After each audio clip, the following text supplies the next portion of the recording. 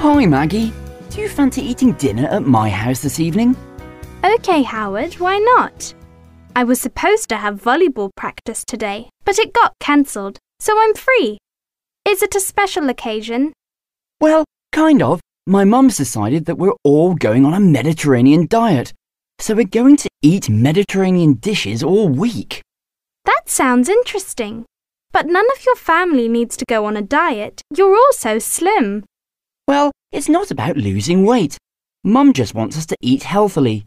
Last week, she went on a business trip to Spain and she really loved the food there.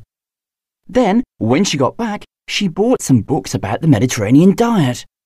So, what makes the diet so healthy? Well, the Mediterranean diet includes lots of vegetables and fruits, with some fish and dairy too.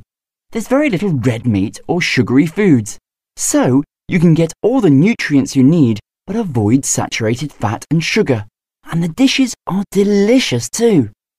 And don't Mediterranean dishes use a lot of olive oil too? Yes, it's one of the main reasons the diet is so healthy.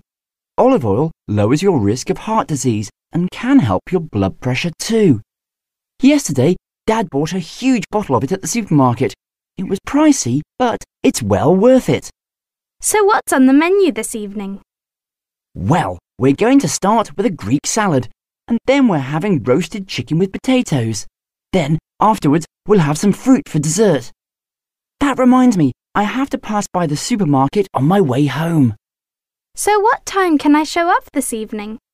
Well, I know that your lessons finish earlier than mine today, but if you don't mind waiting for half an hour, we could walk to my house together. OK, let's do that. I'll wait for you in the library and make a start on my homework.